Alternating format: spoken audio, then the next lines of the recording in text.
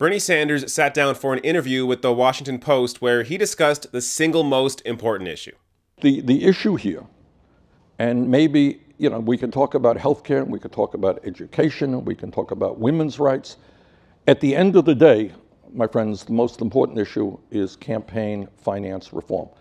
Because so long as you continue to have a handful of billionaires like the Koch brothers, Sheldon Adelson, and others who can dump huge amounts of money into a Senate race, a congressional race, a governor's race, we're not going to have the kind of democracy that this country deserves. If you look at what goes on in the Senate where I live or in the House, what you find is that virtually every major piece of legislation that comes to the floor is paid for by wealthy and powerful special interests. And in fact, in many cases, whether it's trying to throw 32 million people off of health insurance or give tax breaks to billionaires, it is exactly the opposite of what the American people want. So we have to deal with campaign finance reform. The dilemma, obviously, is you can say, oh, well, you know, and I ran without a super PAC, and that's the way I will always run. Our campaign was dependent upon several million small in, individual con contributions averaging $27. The dilemma out there is people can say, well, you know, I don't want, I did it, you know, and I will always do that. But, you know, people say, well, it's kind of unilateral disarmament. Koch brothers pouring in huge amounts of money. So. All right, so there's a few different points there that that I want to hit on. Now, obviously up front, Bernie Sanders is exactly right about campaign finance reform. Campaign finance reform is the most important issue because until you have fair elections, until you have public financing of elections, you're going to continue to have this system where the 1% and multinational corporations have a lot more influence on the politicians that get elected than the average person does. So, for example, right now, all across the country in, in America, you see these candidates winning primaries primarily because they had the most money behind them. Now, luckily, progressives have managed to make some gains uh, despite that, but by and large, there are a lot of Democratic candidates winning primary races because they had the most money behind them. And that money is coming from multinational corporations and billionaires. And what do you think happens once they get in?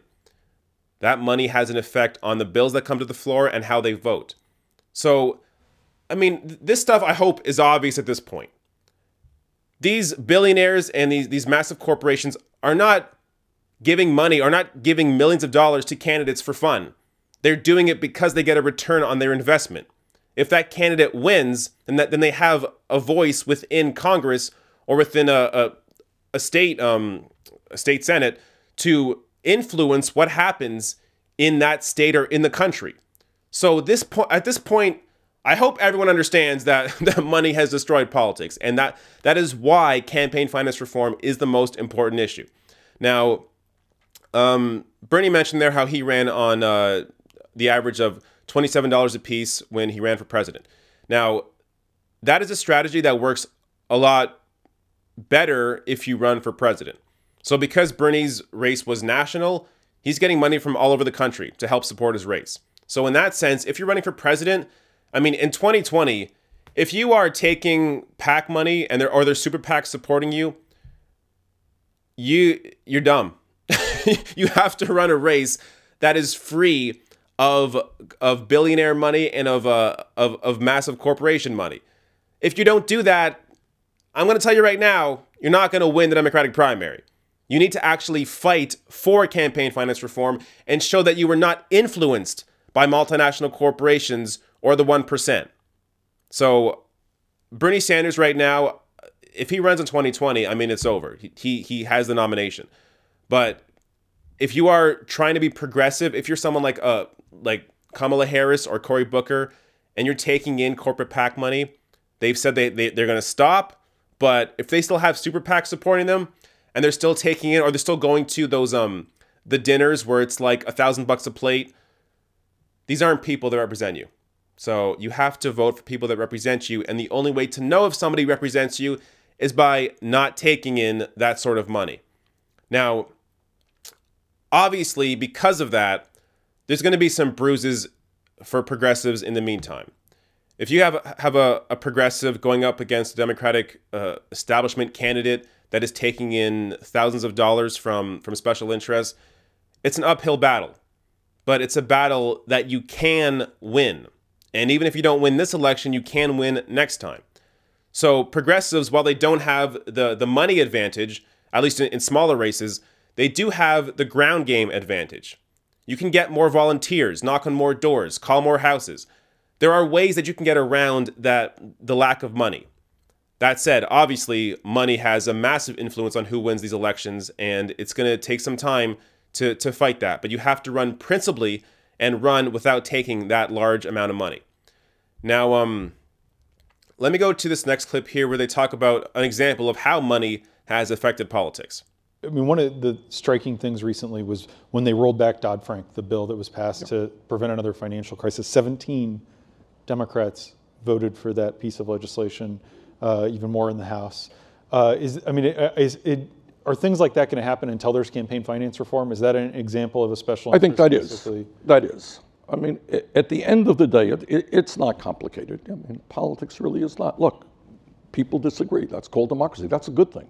Let's treat each other in a civil way. You disagree with me, and that's fine. But at the end of the day, you want a government which represents ordinary people, the needs of ordinary people, rather than the needs of a handful of billionaires. And when folks say, well, you know, I need that vote from you, and, and, you want campaign contributions, you want help from my super PAC, I will expect you to vote to deregulate Wall Street. Well, people will do that, unfortunately. So, this is a perfect example of how money has affected politics. Deregulating the banks. Did any Democrat run on deregulating the banking industry? Did Mark Warner, who voted for that, that legislation to roll back Dodd Frank, did he run on that the did he run on the idea that he's going to deregulate the banks? No. So why did he do it? Because he gets tons of money from Wall Street. All the Democrats that voted for that bill get a lot of money from Wall Street. And how does how does Wall Street get the return on investment? When these Democrats, because of the, the money they, they took in from Wall Street, go out and vote to deregulate their banks. Done. That's how they do it. So, this idea, like, this is. When you see a politician like this, someone like Mark Warner, who is just in bed with all big money, you have to vote these people out. It's that simple. Now, voting them out is less simple, but if you can vote them out, you get a lot closer to a system, at least to a party that'll better represent people and will be more appealing to voters. But Right now, a lot of voters see two parties that are both corrupted and they don't bother voting at all. So, voter turnout is the biggest issue right now affecting the Democratic Party. And how can they help that? They can help that by taking big money out of politics and showing that the Democratic Party actually represents their best interests. Now, this last clip here I want to show is um, Bernie talking about how this system of money has affected what politicians spend their time on you mentioned the kind of the oligarchy. You even mentioned Disney. Bob Iger, the CEO who got the deal you talked about, his.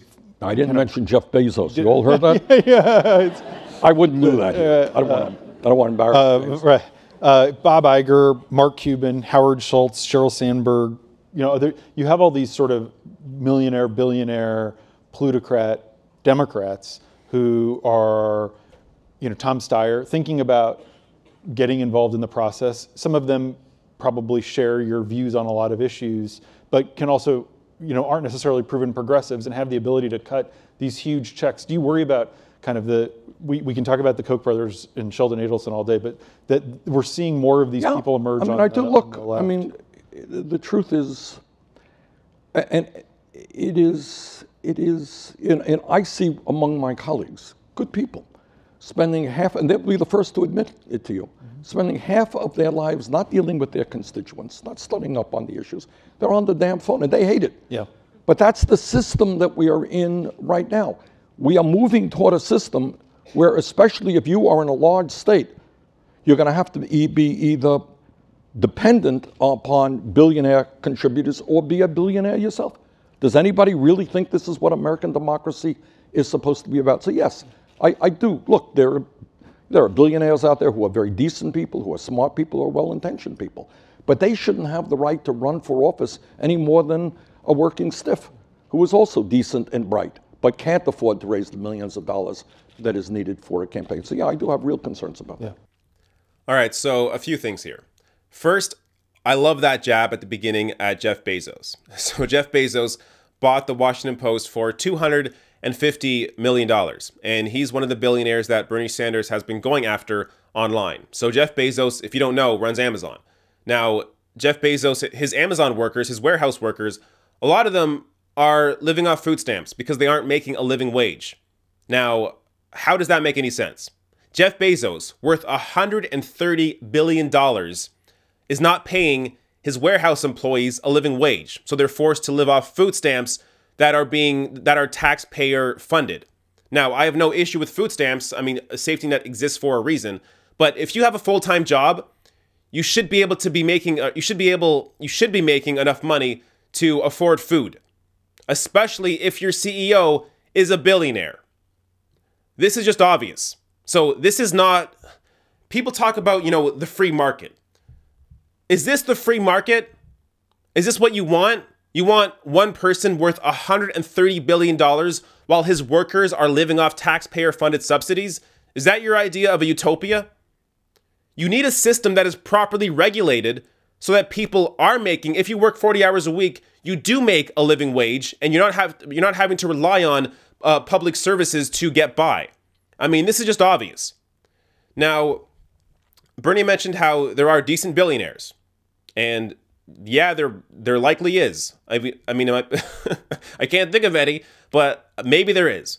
But um, he said there, look, even if there is a progressive billionaire that wants to pour money into elections for progressives, he's against it, and I completely agree with him. Regardless of where your politics is, you shouldn't be having more influence on elections than the average person. So this is a principled position. I don't care if you are super right wing, I don't care if you're super left wing. You shouldn't be putting more money or you shouldn't you shouldn't have more influence on elections than the average person does. This is why moving to a public finance uh, public financing of elections makes sense because then you move to a system that properly represents everyone.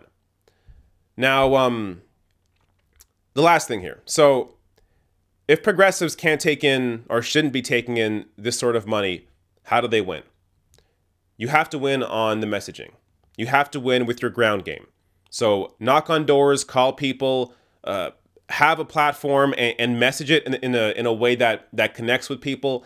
That's how you win. And yes, there's going to be a lot of losses. So, you know, oftentimes the the person that has the most money behind them is the one that wins the election. But you can change that. We can move to a system where we start electing uh, uncorrupted people to Congress and to, to state races uh, as well.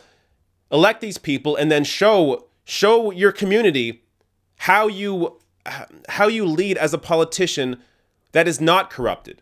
How you lead as somebody who is actually listening to your community, who doesn't spend all his time calling up billionaires and and uh, wealthy individuals to get their campaign contributions. Politicians shouldn't be spending their time calling people for money. I mean, that alone shows you how broken this system is. So, progressives can lead on the messaging and uh, lead on in terms of um, not taking in these large campaign donations. Then it shows that you are uncorrupted and you begin to build a movement for your campaign. And yes, you may lose a few races, but this is what has what has to be done in order to make the progress that is needed.